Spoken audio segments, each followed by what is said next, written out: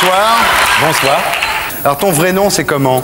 Mon nom de naissance est Claude Vorillon. Claude Vorillon, Oui. ouais. Alors Raël c'est un surnom d'une certaine façon. Raël, c'est le nom qui m'a été donné euh, par ces êtres de l'espace que j'ai rencontrés, les Elohim, On va y venir. Profession de ton père, il faisait quoi? De père inconnu. Et ta mère? Ma mère, euh, très gentille. Femme à la maison? Oui. Femme au foyer? Femme au foyer.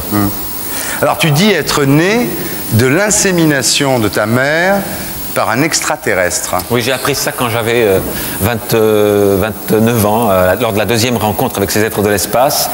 Et euh, c'était un coup de massue sur la tête au départ.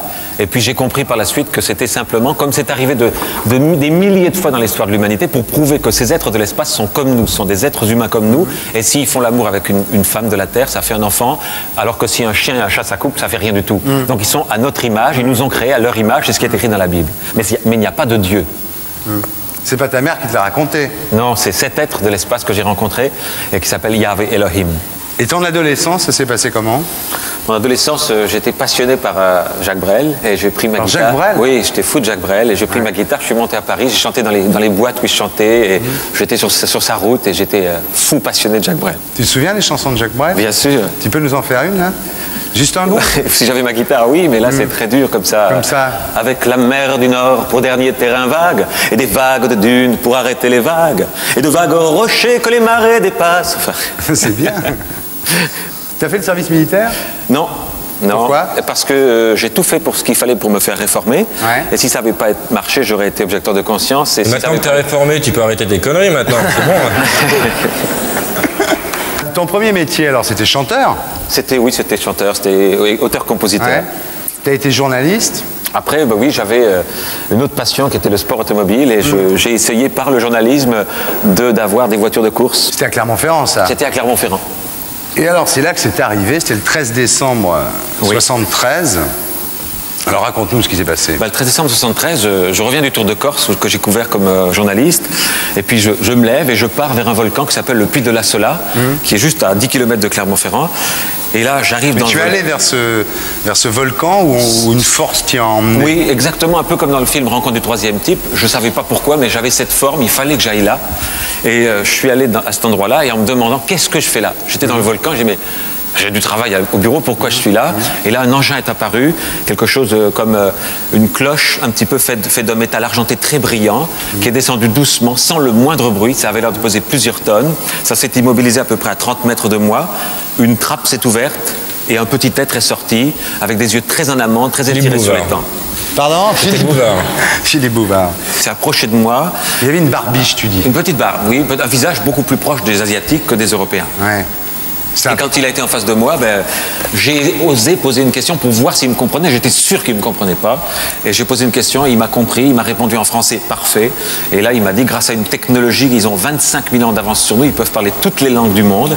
Et le message a commencé, il m'a commencé à me donner le message, de savoir qu'ils avaient créé la vie sur Terre, qu'il n'y avait pas de Dieu, que c'était eux qui avaient été pris pour des dieux, et que leur nom c'était Elohim, qu'on trouve dans la Bible. Et donc, euh, la Bible est le plus ancien livre athée du monde, en fait. Mais il t'a, il t'a pas donné de preuve de sa, de sa Non. visite, il t'a pas laissé quelque chose qui aujourd'hui euh, Aucune. témoignerait de la véracité de, de tes affirmations. Aucune preuve, si ce n'est le message. Et euh, j'avoue que moi, j'ai été le premier à y adhérer. Et j'ai trouvé ça tellement logique. Parce qu'avant, il y avait quoi? Il y avait un bon Dieu surnaturel ou l'évolution. Les deux étant des théories. hein. Contrairement à ce qu'on enseigne dans les écoles, c'était bien la théorie de l'évolution ou la théorie du Dieu. Il y en a une troisième qui arrive et qui correspond à ce qu'on fait maintenant. Créer la vie en laboratoire en, en faisant des manipulations génétiques. Ça me semble être la plus logique. Et alors là, tu es devenu Raël, pourquoi? Parce qu'ils m'ont dit arrête ton travail et va de par le monde, porte ce message. Les gens riront au début, mais au fur et à mesure, les gens comprendront et prépareront cette ambassade, qui est l'objectif de notre organisation, On le mouvement venir, réalien. ouais. Construire une ambassade où ils vont venir officiellement. Et là, je ne serai pas tout seul, tout le monde pourra les voir. Et alors, il y a eu l'affaire, après c'était encore plus, plus étrange, parce qu'en 75, donc deux ans plus tard, Oui. tu te promènes euh, dans le Périgord, et là tu, tu es parti en voyage sur une autre planète. Ça s'est passé comment? Mais ça s'est passé que le même engin est apparu, et là ils m'ont ils m'ont donné en quelque sorte une récompense, car le premier contact était un test pour voir si j'allais faire de l'argent avec ça, si j'allais essayer d'exploiter ça, si j'allais. Et pendant deux ans j'ai été mis à l'épreuve, j'ai parlé sans jamais chercher à faire d'argent personnellement, et ils m'ont donné la récompense, ils m'ont emmené sur la planète où ils vivent, Ouais. avec cet engin qui est une téléportation réelle, celle-là, Ouais. puisque en quelques minutes on peut voyager à, des distances in- inimaginables. C'est comment l'intérieur de ce, de, de ce vaisseau spatial très décevant parce que moi je suis passionné de sport automobile et de pilotage et je m'attendais à voir comment ça marche. Il n'y a rien. Il y a, je ne sais toujours pas comment ça marche. Il y a euh, un intérieur fait d'un métal argenté. Le, le sol est fait comme euh, une pierre précieuse bleue. On s'assoit et dit ne bougez plus. Je croyais qu'il voulait prendre une photo. On sent un petit balancement et on est arrivé. Ça dure Je combien sais de pas, temps c'est vraiment Ouais. de la téléportation. Ouais. Ça dure le temps d'y penser. D'ailleurs, combien de temps mettez-vous pour venir de votre planète? J'ai demandé. Il dit le temps d'y penser. Ouais. Comment ça marche? Je ne sais pas. Alors cette planète a été comment? Cette planète, c'est le paradis. Ouais. C'est des gens qui ont 25 000 ans d'avance sur nous, donc ils vivent. euh, Il n'y a pas d'argent, il n'y a pas de violence, il n'y a pas euh, de chômage, il n'y a pas de. Les gens font ce qu'ils aiment, s'épanouissent. C'est ce que la Terre est en train de connaître doucement. C'est ce que les enfants d'aujourd'hui connaîtront un jour, parce que l'homme n'est pas fait pour travailler, il est fait pour faire Ah, travailler ça, les. c'est une bonne nouvelle, Mais bien sûr. L'homme est fait pour faire travailler les ordinateurs, Ouais. les robots, et Ouais. pour créer, pour penser, pour s'épanouir. Alors qu'est-ce qu'ils font? Ils font des manipulations génétiques? Qu'est-ce qu'ils font? Ils s'amusent à créer la vie. Alors là-bas, tu as rencontré tous les, tous les grands prophètes, tu as rencontré euh, Oui. euh, Jésus, Mahomet, euh, Ce sont des Bouddha. êtres qui sont partis de la Terre, comme les histoires le racontent, qui sont partis de la Terre avec eux et qui maintiennent scientifiquement en vie. Vous savez qu'en Californie, il y a des gens qui se font cryogéniser, c'est-à-dire Mm. on les met dans, dans de l'azote liquide très froid pour les conserver. Bon, ils ont perfectionné cette technique puisqu'ils ont 25 000 ans d'avance et on peut les recréer à travers un- une méthode qui s'appelle le cloning, de corps en corps. On les maintient en vie et quand l'ambassade qu'on veut construire sera faite, ils reviendront officiellement avec les extraterrestres qui nous ont créés pour prouver de ce qui s'est témoigné. Et c'est ce que toutes les écritures racontent. Jésus reviendra, Mohamed reviendra pour unifier tous les êtres. Mohamed, il est revenu déjà. Et là, ils t'ont demandé de créer une ambassade pour les ça. accueillir sur Terre. Alors c'est quoi cette ambassade? C'est une ambassade qu'on doit construire si possible à Jérusalem et où ils reviendront officiellement, comme partout c'est écrit, pour aider l'humanité. Mais il faut qu'on fasse le premier pas, à savoir commencer à unifier la planète, commencer à arrêter de, de- de faire des stupidités, des guerres, à s'unifier, à avoir un gouvernement mondial, à supprimer les armées, à supprimer les armes atomiques et à commencer à s'unir dans ce village planétaire où nous sommes. Tu penses que quand Jésus a commencé à raconter ces histoires, les gens avaient le même regard sur lui que sur toi aujourd'hui? Le même regard. Et si les mêmes médias monteurs, si les mêmes journaux euh, comme euh, euh, VSD, le Nouvel Observateur, l'Écho des Savanes, qui ont fait des articles euh, calomniateurs et, et dégueulasses sur moi, il n'y a pas d'autre mot. Pourquoi Qu'est-ce qu'ils ont dit Bon, Ils disent des, des saloperies, ils disent qu'on on- on drogue les enfants, qu'on viole les enfants. Aucun n'a envoyé un journaliste pour m'interviewer, aucun n'a envoyé un journaliste dans les, les rassemblements qu'on a. Ils ont pris des photos dans des agences de presse et ils écrivent n'importe quoi, qui reprennent de l'un à l'autre. Et toute la France le lit et toute la France croit qu'on qu'on drogue les enfants, qu'on organise des, des partous avec des enfants. C'est complètement faux. Mm. Et vous, vous êtes le bienvenu à nos réunions pour vérifier de vous-même. Et si on n'aime pas les gosses, on peut venir quand même Tout à fait. Donc là, tu as fondé la. la- c'est pas une secte, c'est quoi la- Vous savez, les premiers chrétiens étaient appelés une secte parce Ouais. que Jésus disait des choses qui dérangeaient aussi. Il disait aussi que son Père était dans les cieux. Et automatiquement, on l'a appelé une secte. On sait ce qui est arrivé aux premiers chrétiens, les donnait au lion. Aujourd'hui, euh, ça pourrait être dans d'autres pays des asiles psy- psychiatriques ou des camps de rééducation.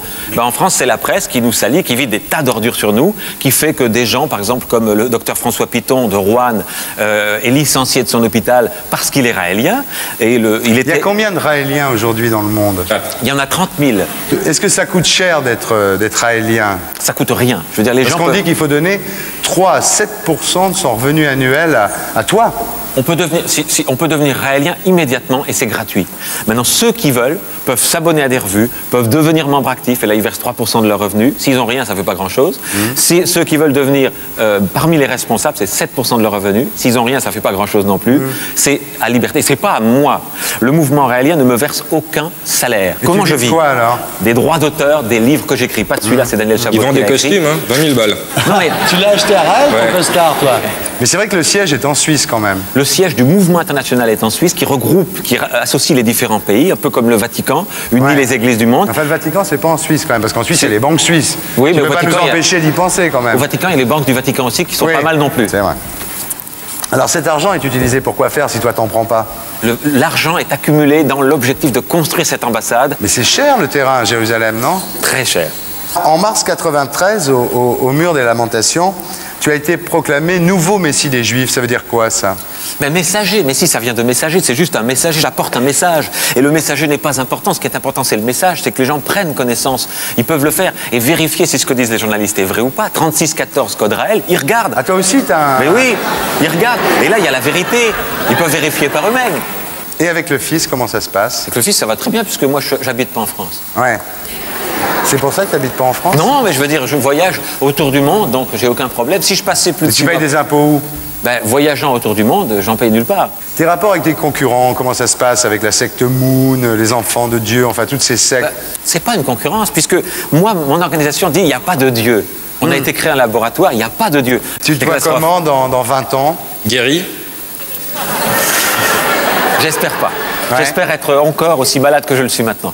Et si les extraterrestres viennent pas, tu vas, tu vas avoir l'air fin quand même, non? Ils vont venir. T'es sûr? Ah, il n'y a pas de doute. Mais À quand quelle heure là Parce que. Entre maintenant et 2035. c'est Ah ce bon? Oui, c'est la, la date limite.